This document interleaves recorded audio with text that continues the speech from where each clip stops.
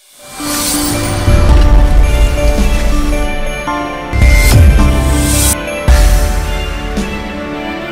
மறைந்த காமெடி மற்றும் குணச்சித்திர நடிகர் மயில்சாமியின் மறைவு தமிழ் திரையுலகை சோகத்தில் அழுத்தியுள்ளது. மயில்சாமியின் உடலுக்கு தமிழ் சினிமாவின் பல முன்னணி நட்சத்திரங்கள் நேரில் சென்று அஞ்சலி செலுத்தினர். அப்போது சூப்பர் ஸ்டார் ரஜினிகாந்தும் நேரில் வந்து மயில்சாமியின் உடலுக்கு அஞ்சலி செலுத்தினார். பின் பத்திரிகையாளர்களிடம் மிக உருக்கமாக மயில்சாமி குறித்து பேசினார். அப்போது பத்திரிகையாளர் ஒருவர் ட்ரம்ஸ் சிவமணியிடம் மயில்சாமி கேளம்பாக்கம் மேகநாதீஸ்வரர் சிவன் கோயிலின் லிங்கத்திற்கு சூப்பர் ஸ்டார் ரஜினி பாலாபிஷேகம் செய்தால் எப்படி இருக்கும் என்பதை தன் கடைசி ஆசையாக கூறியதை பத்திரிகையாளர்கள் ரஜினிகாந்திடம் கூறினர். அதற்கு ரஜினிகாந்த் நிச்சயம் இது குறித்து சிவமணியிடம் பேசுவேன் மயில்சாமியின் ஆசையை நிறைவேற்றுவேன் என்று பதிலளித்தார். இப்படி மயில்சாமியின் ஆசையை ரஜினிகாந்த் நிறைவேற்றுவது குறித்து பேசியது இணையத்தில் பேசு பொருளாகி வந்த நிலையில் நேற்று மறைந்த முன்னாள் முதலமைச்சர் ஜெயலலிதாவின் பிறந்த நாளை முன்னிட்டு சூப்பர் ஸ்டார் ஜெயலலிதா குறித்து உணர்ச்சி பொங்க பேசிய வீடியோ இணையத்தில் வெளி வெளியானது. அவர் பேசியதாவது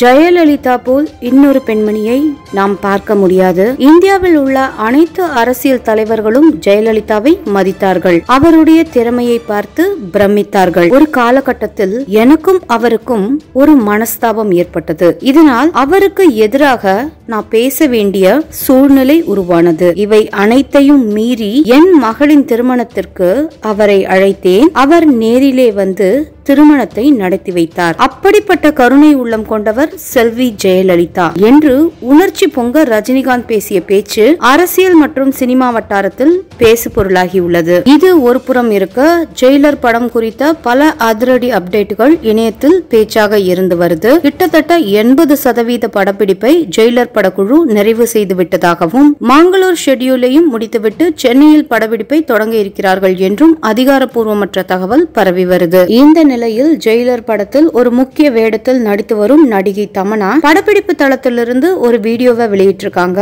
அந்த வீடியோவில் ஷூட்டிங் செட்டில் இயக்குனர் நெல்சன் பணியாற்றும் காட்சிகள் இடம்பெற்றுள்ளன. அந்த சிறிய வீடியோவை வைத்துக்கொண்டு இணையவாசிகள் ஜெயிலர் படம் எப்படி இருக்கும் என்று தங்களது கருத்துக்களை பதிவிட்டு வராங்க. மேலும் திரைப்படம் வருகிற தமிழ் புத்தாண்டுக்கு வெளியாகும் என்று ஒரு சில தரப்பினர் இன்னும் கூறி வராங்க. ஆனால் படக்குழு தரப்பில் இருந்து எந்த ஒரு அதிகாரப்பூர்வ அறிவிப்பும் இதுவரை வெளியாகல. ஆனால் படப்பிடிப்பு மிக வேகமாக இறுதி கட்டத்தை நெருங்கி வருவது மட்டும் நிச்சயமா தெரியுது. அதே போல் படத்தின் முதல் சிங்கிள் குறித்த அப்டேட் விரைவில் வெளியாகும் என்று ரசிகர்கள் ஆவலுடன் எதிர்பார்த்து காத்திருக்கின்றனர். அதே போல் நீங்களும் ஜெயிலர் படத்தின் அப்டேட்டுகளுக்காக காத்திருக்கீங்களா என்ற உங்களது விருப்பத்தை கமெண்ட்ல பதிவிடுங்க. இந்த வீடியோ பிடித்திருந்தா லைக் அண்ட் ஷேர் பண்ணுங்க.